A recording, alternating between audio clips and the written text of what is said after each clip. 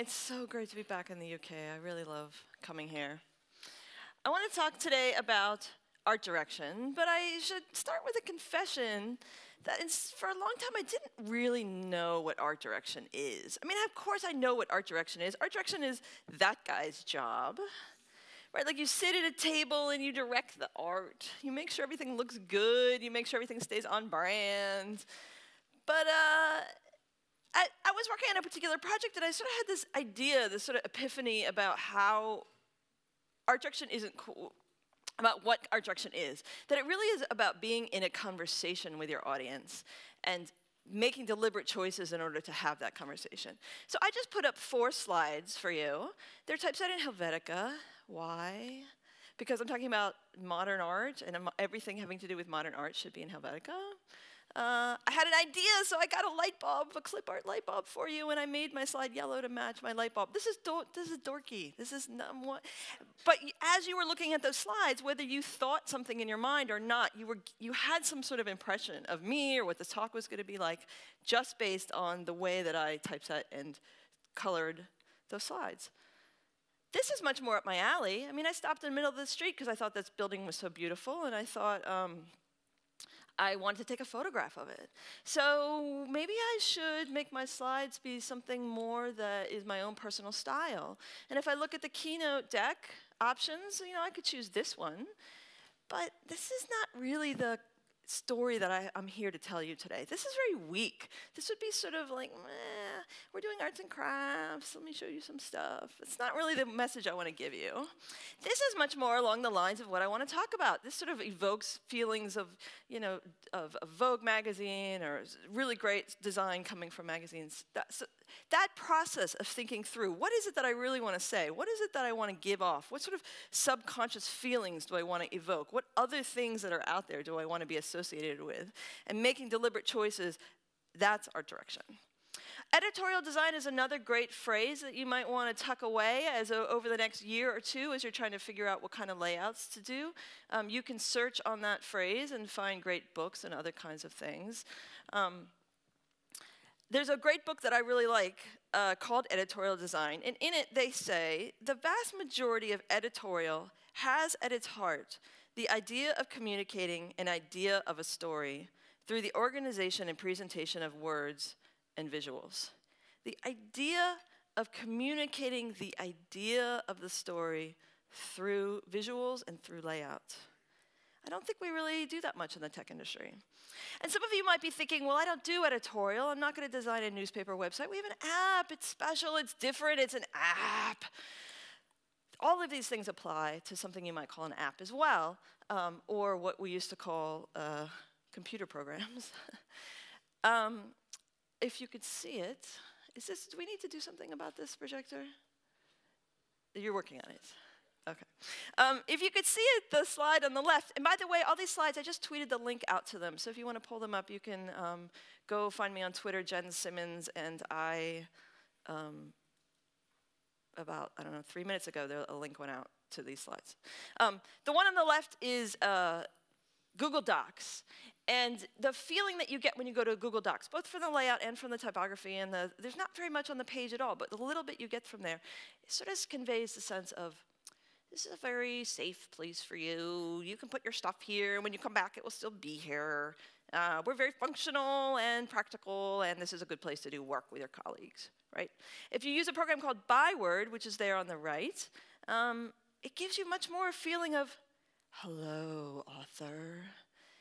You're here to write something very special. We're going to be very quiet now. Almost nothing on the page, and those two different ideas are being conveyed. The idea of communicating the idea of the story through the organization and presentation of words and visuals. There's this uh, magazine that's in the book that has, there's a couple layouts. So this is the first, the beginning of it, and then there's this layout. This article is about architecture in Asia, in China, and it's about, I mean, you can just, without reading anything, you can get the feeling from this that it's sort of about um, pride and the new things that are happening in Asia. And the, you can see in the photographs these tall, strong buildings, and then you can see in the way the text laid, is laid out and the spacing between the text and the photographs, this sort of sense of structure and strength and feeling, right? And then you get to the website, and the website doesn't have any of that. The website's very chaotic. The, the website sort of screams, Hi, I'm a website. I'm laid out like this. Um, because we got into this rut where we feel like all websites need to be laid out like that. Or these days, like this. You may have seen this going around Twitter. We are unique. Find out how unique. This is your website. Uh, the content, you know, your business is so incredibly unique, but your content is not. Um, you, you, your layout is the same as everybody else's layout. Or this, Jon Gold tweeted, which one of these two possible websites are you currently designing? We're so incredibly bored. Uh, I'm sorry. This is really driving me crazy. And all the technicians left. All right. So anyway, we're completely bored with web design. We don't know what it is that we're, um, what we want to be doing anymore. And, and some people have said, well, we're bored because of, it's responsive web design's fault. Responsive web design has made layouts really boring. And I don't think it's responsive web design's fault at all. I think it's our fault. Um, we're using a lot of tools, uh, tools that sort of have their origin back in 960 grid. Who used 960 grid? Uh, back in the day, right? And we got into this habit of doing 12 columns where every column is the same width as every other column. And then we've been, uh, we've stuck with that grid. We've been, entire industry is using this one grid. And when Flexbox came out, uh, when responsive design came along, there was a whole bunch of new frameworks that came to replace 960 grid because 960 grid was fixed width. And we had got all these different versions of a responsive layout framework, but it was always the same. It was always the same 12 column grid. And then Bootstrap has come along, and Bootstrap really is um, a tool that a lot of people use, and it, it comes with these layouts that are really the same exact grids frame uh, system, and then um, these layouts. There's these these different layouts that you can choose, and these are the layouts that we've been using quite a lot. Um, I really believe that layout shouldn't be a multiple choice question. Layout should be an essay question. You should figure out what kind of layout is going to best convey your site, your project, your app, whatever it is that you're doing, and, and that you should create tools or use tools that are going to help you convey that design. And maybe you need a style guide, you need a style framework, you need your own custom framework. Maybe you want to take Bootstrap and crack it open, throw out the parts you're not using, and hack it and change it. Um, I'm all for that, but I think we're in this weird period where we've let the tools dictate all the designs for us. And when Flexbox came along, we got all these like even more different um, frameworks that are all basically the exact same design done in Flexbox. So what are we going to do if we don't use other people's designs? Um, I've been doing a lot of research over the last year into graphic design history and how it could be impacting the web. And there's a lot of great books out there. This is one of them, um, Grids and Page Layouts. Uh, and in it, this book, they say, hey, you can use negative space as a map. You can use negative space to guide people's eyes and guide what's going on with the readers and get them to be where it is that you want them to be. There's this other book, Layout Essentials 100 Design Principles for Using Grids. I really like this book as well. And in it, one tip create an oasis. The web is so busy and crowded, people are so frantic surfing the web. You can start creating spaces on your web pages where things are calmer, where you can actually create an oasis for people. There's an amazing future coming in layout design. Uh, here's the official timeline. we started out with no layouts because we had absolutely no tools for doing layout at all. Every page had a gray background and everything was in one column. Uh, and then we started using tables for layout. Uh, and we got these kind of punk rock designs that people were doing for a while. Then we hand-coded floats. We've liked the Holy Grail layout quite a bit in that era. Um, framework layouts started uh, getting us into this era where everything seems to be shaped in this shape where like you could take a, you, if you could take the website and fold it in half, everything would just be like mere images of the other. And, uh, and then we've got a kitten that's a unicorn that's coming in our future. And I think we also have non-flashing slides coming in our future. Thank you. So I have a bunch of examples to show you. You can see them at labs.jensimmons.com. They're up right now. And I'm going to show you some big pieces and little pieces of what is possible. The technology, there's new technology coming along that makes things possible that were not possible before. Initial letter is one of them. So here in this design from print, you can see that, oh my gosh, the paragraph where people are supposed to read is not at the top left corner of the page. You know what? You can put things on other places on the page. You don't have to start everything in the top left corner. The headline is not in the top left corner, but people are not confused. They know where to go because of visual hierarchy and because of the use of the drop cap. There are ways to do this uh, in graphic design. So what do we do for drop caps on the web? Well, we uh, do our best. We isolate things with a pseudo element first letter. That's cool. We'll keep doing that. That works. And then when we grab that letter, what do we do? We say font size 2M, no, 4M, no, 2.39M, no, 2.8 three, six M. Okay, perfect in my favorite browser. Now look in the other browser. Oh, it totally doesn't line up anymore. I like the one on the right there. They just sort of said, yeah, it's never going to line up because browsers size things differently and there's no consistency, so we'll just make a giant space and call it art. But there's a new property coming. It's called initial letter, and this will take all of that complexity away. Instead of saying font size bigger, bigger, please, oh, it's not really what I need, you can just say initial letter 4, and the computer will do the math. Computers are good at math. And it will figure out how do I make this letter be exactly four lines of text. And that's what it will do. If the user changes the font size or the line height gets changed later by somebody else or the font doesn't download or anything happens, it's still going to be the proper height. It's still going to line up. So let's see, I want to use this today. It only works in Safari 9 and 10. That's maybe 12 or 13% of the global market. So uh, what happens in other browsers? Well, if you understand progressive enhancement, you realize, well, just pretend that that doesn't exist. We'll cross it out and think through what happens in browsers where they don't understand this property. Uh, yeah, that's not what I want. Because it applied the color and the font weight and the little bit of margin in a situation where I don't want it. So does that mean I have to wait until every browser supports initial letter before I can use it? No. There's a thing called a feature query where you can drop an at support statement into your code. So I took the font color change and the bold and the margin right along with the initial letter. I wrapped it all up in this conditional, this little test in CSS. I'm going to leave JavaScript out of this. I could have used Modernizr back in the day, but I don't want to use Modernizr. It's too complicated. So I'm just going to do this all in my CSS. I can say at support initial letter or WebKit initial letter because there's a prefix and I need to test for both. Uh, and let me check out, okay, well, if those things are supported, it's going to run this code. And if those things are not supported, or if I'm in a browser that doesn't know what at supports is, like IE11, it would just skip the whole block of code, which is fine because that's what I want anyway. I want this code to get skipped. IE11 doesn't know initial letter, and it never, ever, ever, ever will, so it's fine. Um, this is called a feature query, and it works like this. It's a lot like a media query in its shape. At supports property value, and you need both a property and a value, and you put a bunch of CSS in there. Um, and I think we're going to make heavy use of this next year when CSS Grid starts shipping.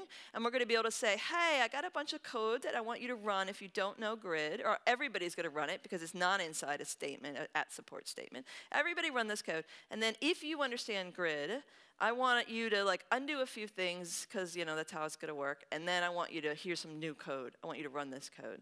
Um, it makes it possible to write a layout using Grid, even though Grid's not going to be in every browser instantaneously on a special day next year. I wrote a big article about this with lots more detail if you want to read it. Um, again, these slides are up. You can find them, and you can find the links to this. Um, viewport units is another property that uh, I think is pretty amazing. Um, so that example on the right there, no matter how big somebody's browser window is, that headline and the photo behind the headline, the dirt, is exactly the size of the viewport. And the moment that a user starts scrolling, the article is right there. So they're never going to be confused. They're just going to start scrolling and boom, nice. How did I do that? I did that by setting a fixed height on the header element of 100 VH. 100 VH is 100 viewport height units. Kind of like percent, except it works vertically, which percents don't. Um, I also put a display flex and a margin auto, display flex on the header and a margin auto on the H1 because this uh, Flexbox redefines what margin auto does and it makes margin auto vertically center this headline. Couple lines of code, amazing. Viewport height units and width units, you can use them any place that you might use an M, a rem, a percent, or a pixel. You can use VH or VW, and it measures the viewport and does basically 1% for each unit. Uh, or vmin vmax, where it looks at the two values and it picks the smaller one of the two or the larger one of the two.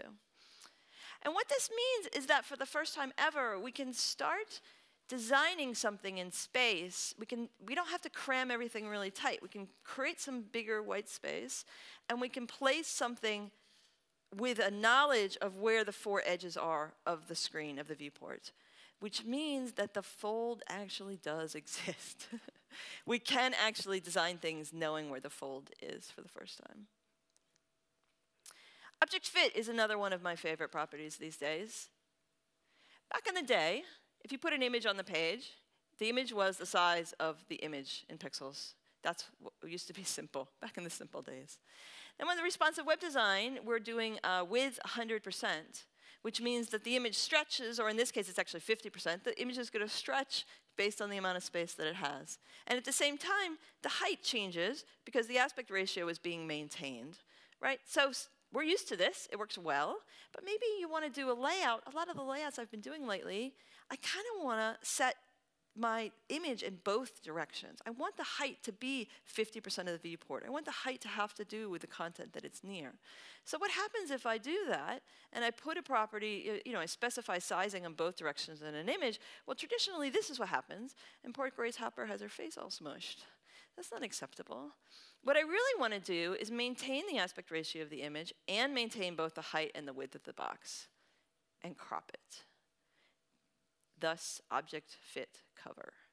I can apply this property object fit to this image and I can say, you know, please go ahead and uh, crop it for me. Doesn't work for every use case, or sometimes when you don't want to crop an image, that's cool. But if, you, if it works out, if this is a good use for you for this particular whatever you're doing, then it's a great little tool. You can also use object position to Right now, it's, it's centering her at 50-50, right? A dot in the middle is the center and is cropping evenly on all four sides. But you can use object position to move that dot and crop on one side or the other. So there it is, width 50%, height 400, object fit, cover.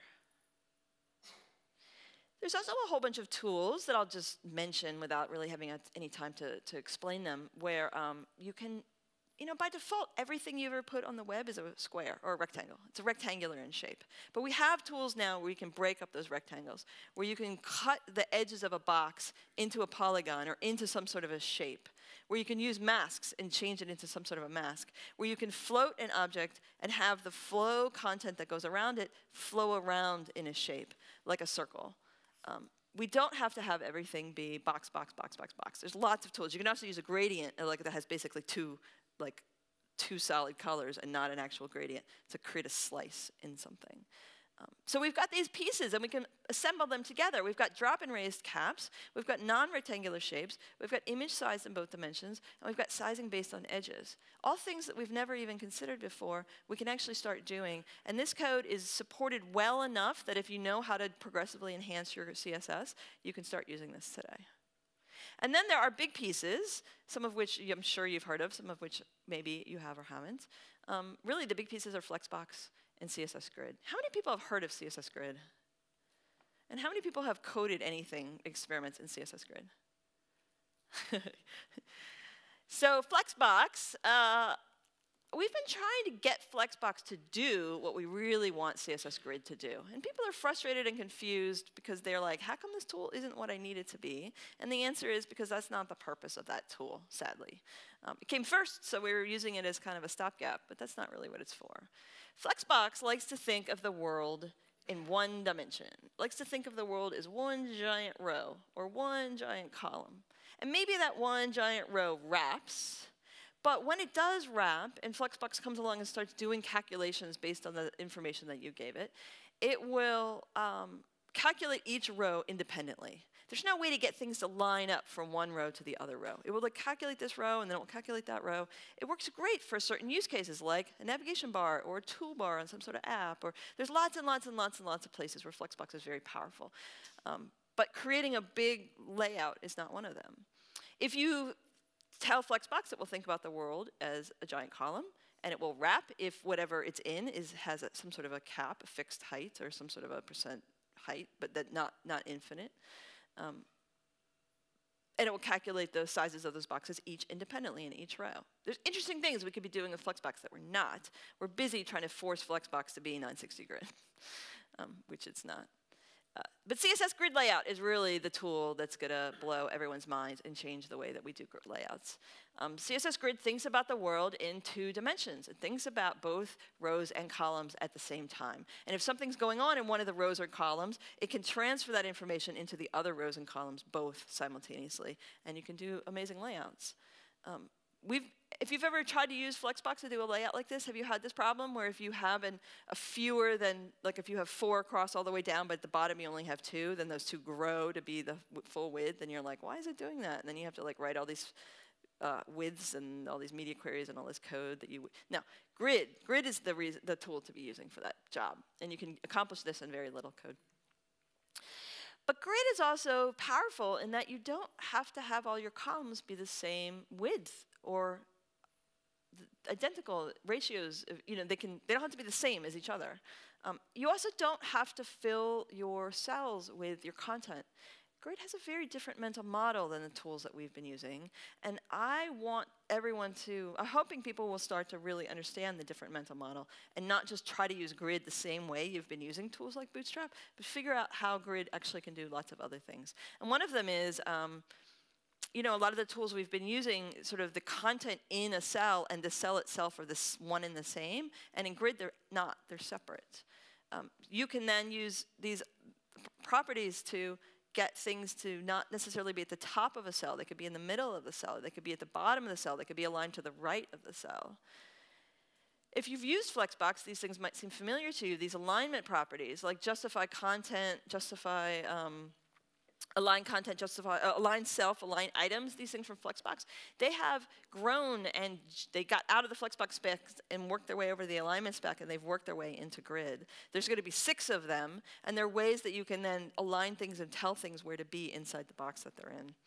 Um, so one great thing to do right now is to spend time investing uh, in Flexbox in learning these alignment properties, it's one of the things that's hard about Flexbox, remembering what justify self means versus justify items versus align self versus align items versus, wait, what was the other one again? Um, so there's a couple games out there that you can use to like drill yourself, um, maybe make some flashcards. like it's time to, to memorize these things. Um, but you can do layouts like this with grid because grid has rows. And when I first heard of rows, I thought, oh, that would be nice for lining things up across the thing. But as I've started to use grid, I've realized really the profound thing about grid is that it makes it possible to have white space. And in this example, I've said, okay, that one box that's sort of floating around, I want you to be in these, this area, this group of four cells, and I want you to place yourself in the center of that area. You can't do that with something like uh, Bootstrap. Or you could have nothing in the top row and have white space. I've started to realize that floats are kind of like having a bathtub full of hundreds of bars of soap, where all the bars of soap are like floating up to the top of the water and they're competing with each other. And responsive web design just like rearranges all the bars of soap and they just sort of float back around and they're cramming themselves. Grid isn't like that. Grid, you can actually tell things to be somewhere on the page and have white space. There are many ways to use CSS Grid. This is similar to the kinds of things we're used to with Bootstrap and 960 Grid and all the tools that came in between, where you have items and you tell them where to be. You say, I want this thing here, I want that thing there, I want this other thing here. I've been looking at a lot of books, uh, and I saw this poster on the right, and I thought, oh my gosh, is that a thing for CSS Grid? Could I code that with CSS Grid? So uh, I did. and if you notice, the headline was not at the very top of the page. I actually had content above the headline, and then the, and you could still see that you, your eyeballs find the headline just fine. It's not a big deal to not have the headline at the very top of the page. Now, this is a literal translation of the poster, so it kind of makes no sense to have the logo on the bottom, and it, there's a little, there's some bugs in it and stuff. But just as an experiment to see what's possible. So when I did this, the very first thing I did is um, I wrote the HTML for it. I wrote out what should the order be of this content. The, the logo should be first, the name should be second, then it should say spring 2017, then it should say schedule of events, which is a phrase that does not appear visually in any of the designs. It only appears in the DOM for people using a screen reader or for people for whom the CSS has, has fallen off the page. And you might think, who uses the web without CSS? Actually, you have no idea how many users of yours use the web without your CSS people are using things like Instapaper and Pocket and readability. They're clicking the reader mode in their browser and like just looking at the page without, without all the crap, right? There's no stats on that. Google Analytics doesn't tell you how many people are doing that. All of those people are using the web without your CSS. And if, it, if Cortana or Siri or uh, the Amazon Echo ever wakes up one day and starts reading web pages aloud to people or reading web pages out loud in people's cars, then there's going to be a lot of people having a oral uh, experience of the web and getting yourself set up to handle that now is, is a good idea. Um, so source order matters, your HTML matters, your semantics matter, and the great thing about grid is that your source order can be what it should be based on what your content is, and then your layout can be whatever you want because you can rearrange everything using grid. So then I wrote a, a, lay, a, layout using floats, using technology that every browser understands these days. It's not as pretty as the other one, but it works just fine. Um, and then I went ahead and applied, using the at supports, I applied my grid. So it kind of overrides some of the layout that was the float-based layout, and then it uh, makes a much better experience. So, you know, right now, nobody has a browser that uses grid, but as more and more and more people do, everybody could use this web page, and more and more people will see the great design. So grid, on the one hand, you can place each item into a specific space on the cell in the, on the grid into a particular cell or into a particular area. And on the other hand, you can do something that no framework that we use today does, which is you can have the browser figure out where to put everything. It will auto place everything for you. And you can use that algorithm and write much less code. So here's an example. This is a fairly standard layout. It's a bunch of squares in rows, right? I mean, you can, for those of you who do write CSS, you know how much code this takes to do with floats or how much code this might take to do with Flexbox. Especially with responsive design, there's a bunch of media queries. There's my uh, HTML, right? It's a bunch of images. I put them in figures. It's just a list. There is all the CSS running on this example. Not all the layout CSS. This is all the CSS. Seven lines of CSS for this entire page. This is all of the layout CSS. Basically, one line to say, hey, I'm going to use grid, and one line to do the entire layout. Grid is awesome. grid was designed with responsive web design in mind. In this line of code, basically, I'm saying, hello, computer, who's good at math. I want you to figure out things. I want you to repeat this pattern I'm going to tell you. Autofit is I want you to decide how many columns there's going to be, but I want you to go ahead and fit the content. I'm going to have you use the content to figure out how many columns to be. And then I want you to make those columns be this min-max thing. A minimum of 280 pixels and a maximum of 1FR. 1FR meaning, hey, you're just going to take what's there and you're going to dis distribute it equally among yourselves. Go ahead and stretch, distribute whatever you're doing equally among yourselves. Never let the columns be smaller than 280. It's like, okay, and it makes that uh, entire layout. The grid auto placement algorithm is also smart enough in that Spice's example, each of those photos was the same size, and so it just put one in each box, one in each box, one in each box, one in each box. But maybe some of those photos, I put a class on them, and those classes made those bigger in this example here, like the box that has the number four or the number seven in it, those boxes are bigger. Um, the browser will go ahead and start placing things into cells, and when it wants to put something into a cell that's too small, it will just skip that space and go down to the next one and keep going and then find the next biggest, the, the space that's, the next space that's big enough to fit the thing that it has. So this is the default auto placement algorithm. Um, it's in sparse mode. But you can switch to auto, grid autoflow dense and then the computer will start rearranging the content to backfill things in and it will fit them into the spaces that are available. No JavaScript, no masonry, no crazy, crazy, no slowness, all CSS. It's pretty amazing. So here's an example um, of images, and you can start to see at different breakpoints. But there are no breakpoints at different sizes of the viewport. The images rearrange themselves.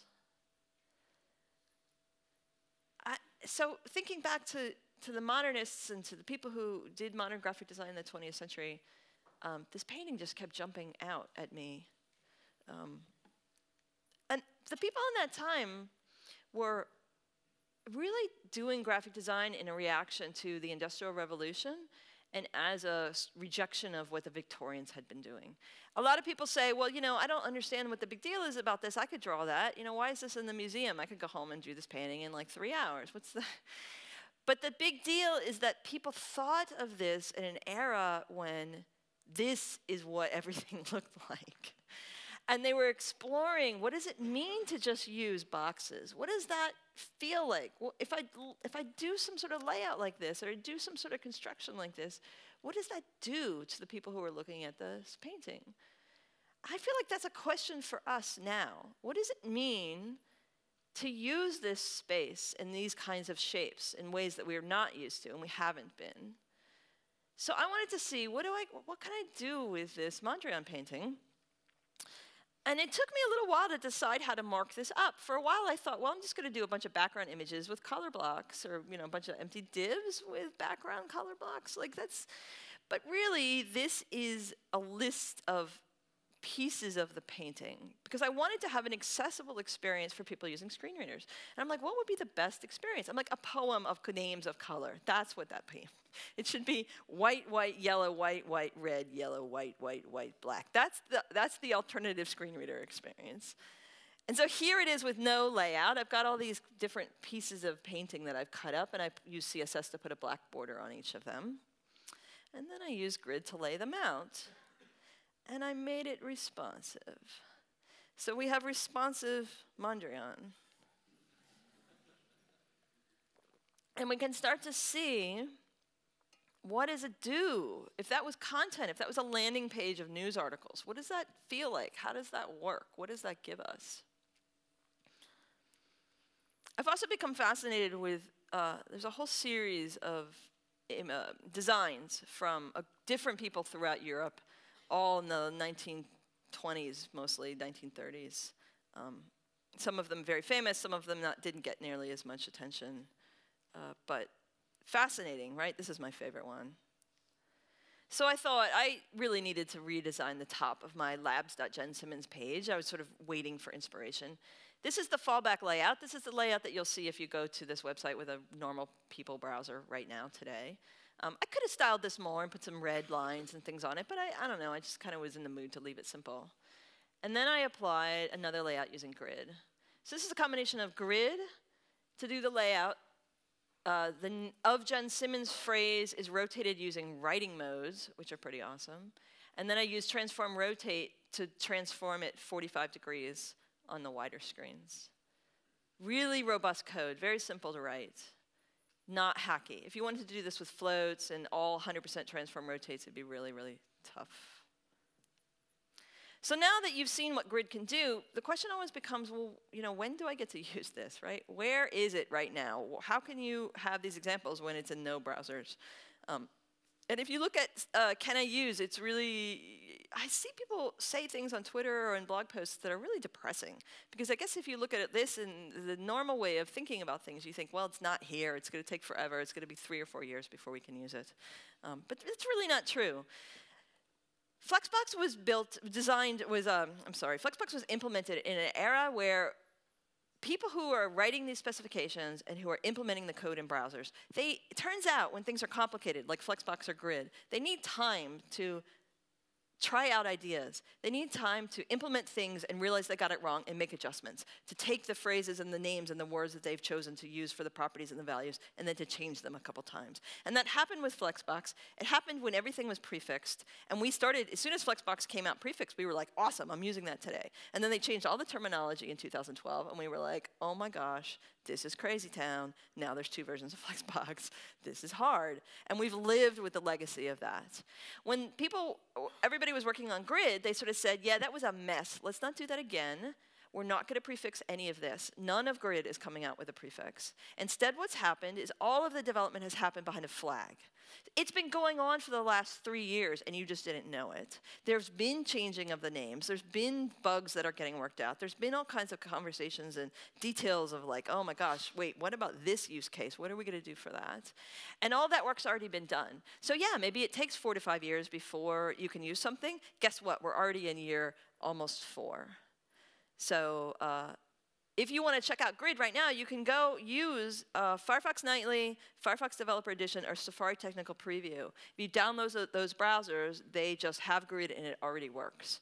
Um, if you want to use Chrome, Chrome Canary, Opera, Opera Developer, or Firefox, you need to know where the flags are. You got to go to about config in Firefox or um, something colon something chrome or opera colon slash slash something something settings to like get to the magical secret page for nerds where you can like go in and find the little thing and turn on experimental web features or turn on grid. Um, there's blog posts about that uh, links in my talk about how to get there. Um, or uh, and you should know that all of this is work in progress although it's like 85% done but if you go to something like Chrome, some of these examples might not work as well. But if you go to Chrome Canary, the certain specific, more advanced features that are necessary are in Chrome Canary. Or like uh, Firefox Nightly has the most advanced version of Grid. Firefox Developer Edition is about six weeks behind. Firefox, the real version of Firefox, is like 18 weeks behind. So the newer the browser, the more experimental the browser, the more Grid will work. Um, it's not because there's anything wrong. It's just because how, that's how it works. It's going to get made, and then it's going to get shipped. Um, but the day that it gets shipped, shipped, shipped, where like normal people have access to it, is the day that the browser vendors simply turn it on. It's there already. They just have to turn it on. Um, and it's not been turned on yet because it needs to be 100% finished, and it's like 85% finished. Um, Edge and Safari, we don't really know. It's in Safari Technical Preview and all the work's being done. You know, there's not really any way to know what Apple's intentions are for shipping it. And if Safari doesn't have any way to turn on a flag, so you can't turn it on in Safari now, that's fine. Just check it out in Safari Technical Preview. Um, Edge has uh, an old version of the spec because this spec grid was actually invented by Internet Explorer. Uh, and it's in IE10, but it's an older version that's in IE10, and that version is behind an MS prefix. Um, there's no grid gaps, there's no auto flow, there's like a bunch of stuff missing. So if you're using sort of the most rudimentary version of grid and you're not using any of those things I just rattled off, then you could prefix it and get support back to IE10 and 11, and, uh, but I don't know that we'll want to do that. And, you know, maybe we will. I would first advise just don't use the prefixes. Pretend that it's not an IE. Wrap your head around it, and later come back to that question. Um, people also ask, is there a polyfill? And there is a polyfill, but I do oh, I, don't use a polyfill. Just let people have a different layout. Um, check out Firefox Nightly, um, and especially because there's this add-on that my team and I, Potch, uh, Matt Claypotch and I made this add-on. Because um, coding grid can be confusing. It's hard to learn, and it, uh, you may not know whether or not like the bug is your fault or where the bug is. Uh, it's much easier to understand what's going on with grid if you can actually see the grid lines as you work. So this plugin puts a little button up in the top right corner, and it gives you this little drop down, because you'll have multiple grids on a page, and you can turn each one of them on and off, and you can see your lines and do your work. So the other question that always comes up is, you know, okay, well, Grid is going to ship. I think Grid's probably going to start shipping in early 2017. It's not coming out in 2016. Maybe just between you and me, January at the earliest. Um, maybe March. Uh, maybe sometime in the spring. Um, and maybe it's a later, you know, maybe in the fall. Maybe we'll get two browsers in the spring and two browsers in the fall, or maybe we'll get three browsers in the spring and one browser in the fall. Um, but I do think that by the time we get to the end of 2017, it's going to be in the four major browsers. Um, and, you know, I don't know, 70% of your users will have it, 80%, maybe 90% of your users will have it a year and a half from now, um, which is going to feel really fast. I know that sounds forever, but it's going to feel fast compared to something like Flexbox. But meanwhile, how do you use any of these properties? How do you use object fit? How do you use um, viewport height units when IE still exists? Uh, and I know that trips a lot of people up. They feel like, well, you know, I can't use them. The reality is that uh, a lot of people think, hey, things either work or they don't work.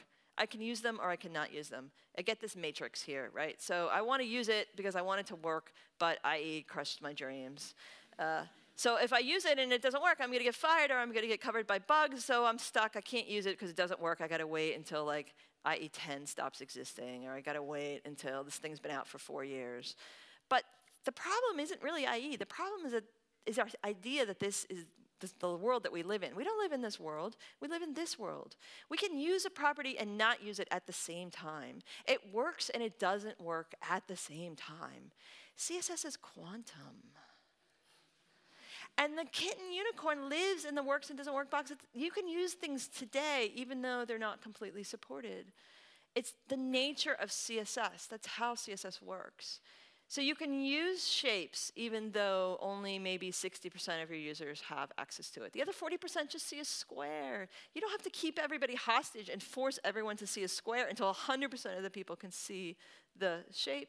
The shape's better, but you know, so uh, it's fine. 95% of the people are going to see that example I showed you, but you know, there's probably 5% of people who use IE that don't have uh, the viewport height unit support. So, all right, they see things like it's 2007. They can live in 2007 if they want to. Only 12% of people have uh, the initial letter. Yeah, but the other 88%, they don't know what they're missing. It's fine. Or here, okay, 0% of people have. all right, maybe it's silly to ship this now, but you know, when this number stops being 0% and starts being 20% or 40% or 60%, I'm hoping people, most people, most projects opt to go ahead and start using these technologies. I did a whole talk on this and exactly how to write code that will work in this way. You can check it out. It's on my website. Um, I also have a talk that I gave last year that um, gets into other kinds of graphic design, other CSS properties that you might want to use. Um, and this talk, along with all of the links for it and slides for it, are also on my website.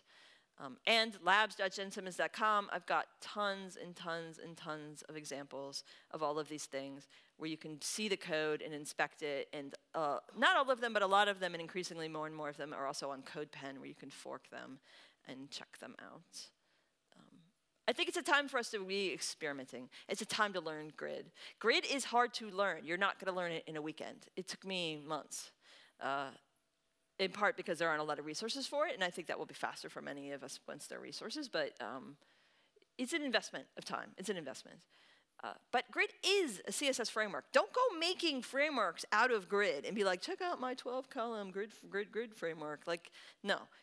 See, finally, the people who make CSS put a layout framework straight into CSS. So learning it is an investment, but it's an investment that you'll use for the rest of your career. Um, and if you're interested, go check out layout.land. It's going to be a space for us to um, make examples and share them with each other and experiment together and play around together. It hasn't launched yet because I've been on the road, but over the winter I'll be building it. You can sign up for our email newsletter to get announcements when it's out and also more information as I start to have it. Um, thanks very much.